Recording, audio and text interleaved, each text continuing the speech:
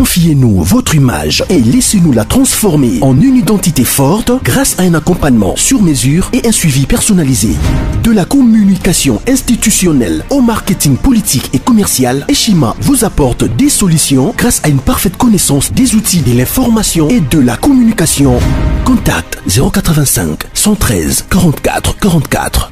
085 113 44 44 Eshima Magazine, un nouveau standard d'information. UDPS viva! Viva! Tobeti masolo il y a 6 minutes, discours il y a 6 minutes. Voilà. voilà. baye bayokaka te bayokaka français malamu te balobaki akamwa ah, eloko ya moke or c'était une bombe atomique ezali bombe atomique bombe wana ele etiki indifférent mpe baoyo toza na bango na kati te na kati ya idps puisi soki okendaki kuna eke ose comporte bien te omoni ke titanique eza nini ezindi possibilité ya kotyo libanda ekoki c'est-à-dire matanga ezali partout ndenge tozoloba boye nalekaki lisusu nalobaki baye baza nsima ya ndeko joseph kabila moma yango oyo baya deja ah, tobeta deja masolo eh, puiske esika tozokende awa makambo ezochange toza kaka na ka mibale ka oyo ya felix eza ya bana nzambe alobi oyo alobi kee na bongwani aleka mopanzi oyo mm. oyo alingi atikala zabulu atikala kuna atikala kuna puiske peyozo tokomi nango eza ya ligue 3 le baptême de la repentance puiske ebele batuna jean baptiste nkolo tosala nini mpo tozwa bateme oyo ayebisa tuke oyo aza na tunike moko apesa oyo aza na yango te oyo mpe aza na eloko ya kolya asala lolenge moko baye bato ya impo baye mpe batuni ye kasi biso mpo tozwa bateme wana tosala nini ayebisi bango n'exigez rien au-delà de ce qu'on vous a ordonné basoda na suka na baye mokonzi kasi biso ayisi bango ne volez pas ne commettez pas l'extorsion contentez-vous de votre solde message ezali kitoko puiske sikoyo tozoluka bato oyo tokonyolosana na bango nzela mm. oyo ngomba ezalaki ekita oyo mabulu ezalaki tozipa totambola totambwisa congo me baye tozalaki na bango ezalaki lisanga ya bandoki babanda kolinga kaka keno idps akoka te puiske konsekanse na yango eza nini discours wana ezali certificat ya dese ya fcc cash mobeta maboko te bobanda kosenga yango bobanda kosenga yango sikoyo la main étendue na baye balingi kose repentir baya koto oyo tosangana mpo na congo totambusa congo cela n'exclut pas que tokobanda kolia na bamosusu mpe kaka na bafourchette ya milai oui na bamosusu mpe bafourchette kaka ya milai deuxième message donc nakanisi oyo okoki koyoka acomprendre donc euh, nazosenga awa bandeko ya fcc baye batikali base manifeste nayebisaki bino ke baconsultation ebele esalamaki déjà maintenant on veut officialiser donc ndeko kabila na pprd bazosala opposition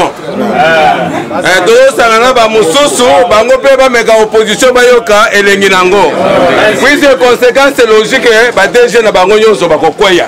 bapdg nyonso bakokweya biro ya assemblée nationale eh, ekokweya babiro mosusu ya baassemblée provinciale ekokweya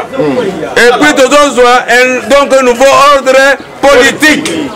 ya bato oyo bazali na meme vision baoyo tozotala na bango dans la meme direction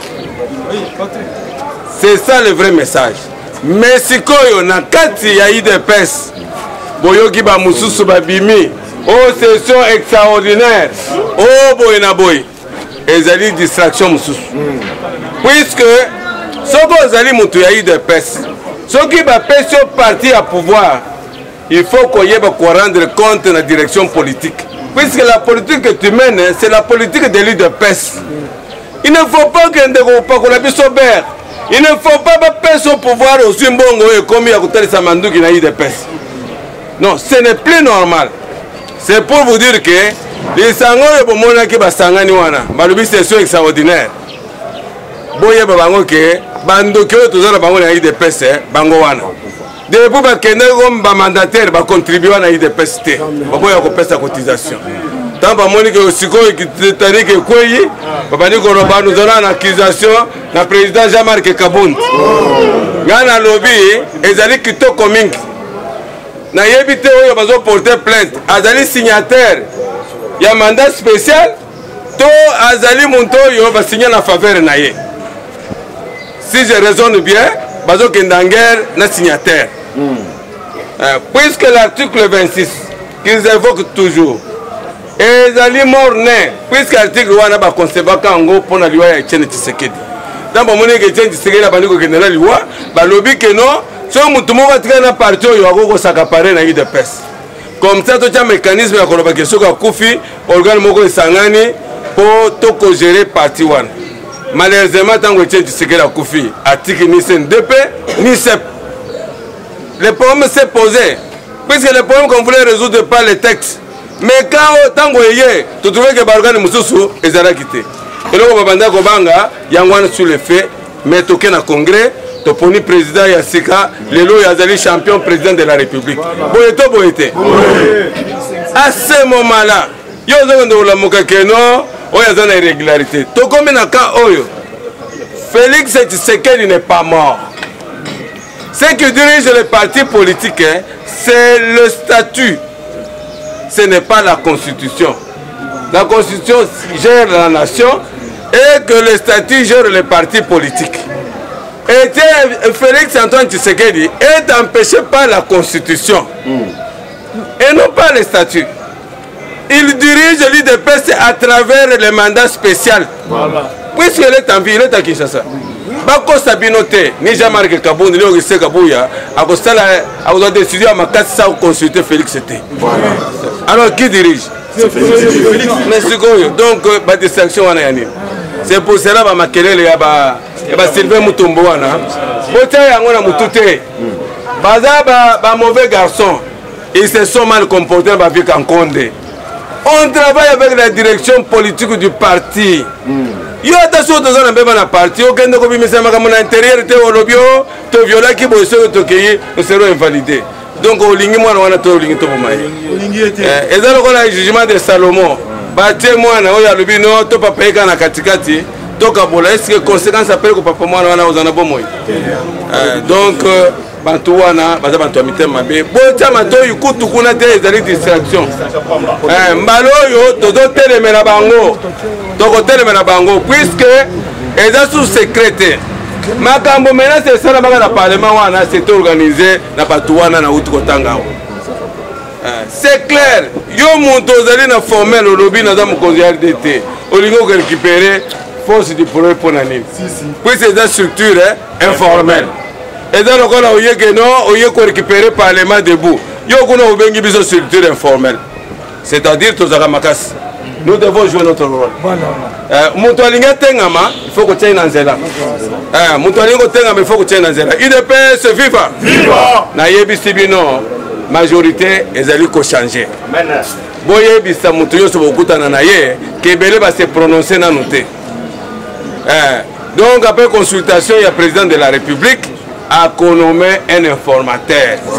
donc na kaka kingakati eza matanga bazokoka susu 300 te na sala même pas 250 eh, bazokoka korenir su nombre wana te boyeba keno changement tolukaki yango ezoya yo mpe ozoloba oza combattant udps kikombata ezali ya koloba teke naza udps kikombata eza ya komilakisa esika nyonso ozali que vous êtes quelqu'un de valeur et non des antivaleur nakanisi na suki wana merci, merci, président, merci, merci. merci. Eshima, votre magazine qui bat au rythme de l'actualité. Retrouvez la nouvelle édition Exclusivité. Alors que la RDC sort progressivement la tête de l'eau après la crise sanitaire Covid-19 ayant fragilisé les économies du monde et Magazine présente à la une de sa 15e édition la ministre de l'économie nationale, Acacia Bandubola présente son bilan depuis sa prise de fonction.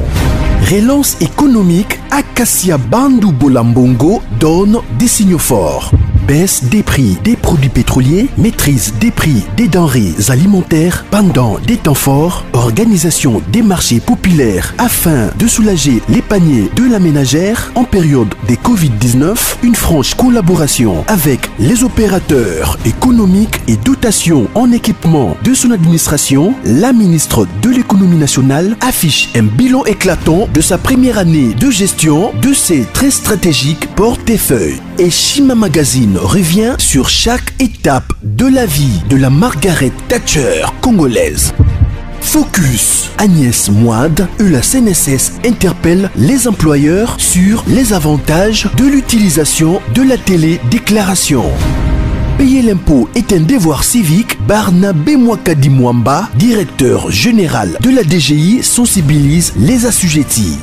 découverte. Jerry Biangani Tempo, l'homme derrière la renommée de l'université chrétienne Cardinal Maloula.